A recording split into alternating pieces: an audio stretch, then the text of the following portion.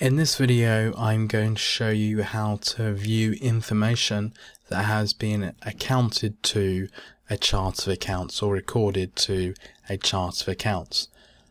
Earlier on in this series I posted some invoices to the supplier accounts Bookkeeping Master and BPFS Limited.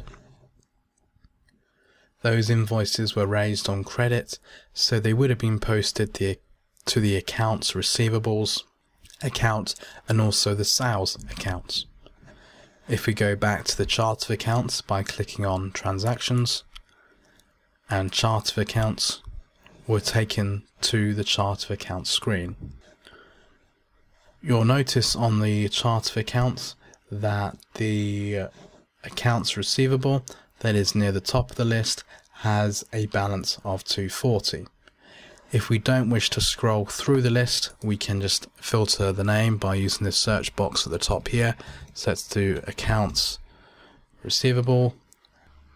To view the information posted to this account, simply double click on the account and you'll be taken to the details of the postings to this account.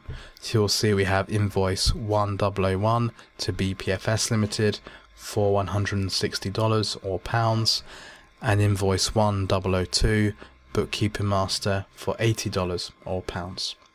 These are the invoices that we entered under customers. As I enter more information onto this QuickBooks system, these accounts on the chart of accounts will soon have a lot more detail on them and many of them will have balances on. To go to the next video, please click on the link to your right.